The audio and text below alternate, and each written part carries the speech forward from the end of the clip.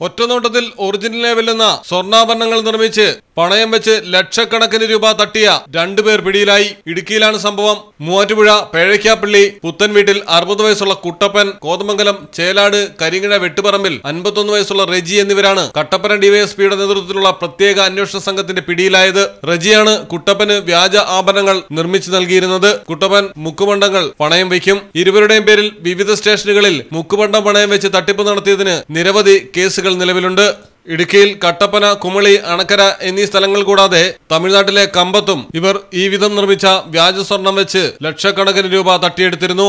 Malayalam television Idukki. ഇപ്പൊ എങ്ങനെയുണ്ട്? സംഭവല്ലേ പിന്നെ അല്ലാതെ നമ്മുടെ നാട്ടിൽ വേറെ എവിടെ ഉണ്ടാ ഇത്രയും ബ്രാൻഡഡ് കളക്ഷനുള്ള ഷോപ്പ് ഈ കാര്യത്തിൽ നിങ്ങളുടെ സെലക്ഷൻ സൂപ്പറാ Silvan tiles gallery Valanchery Puthanathani Aluva Palakkad Edavanna അൻപട്ടാമ്പി. Pattambi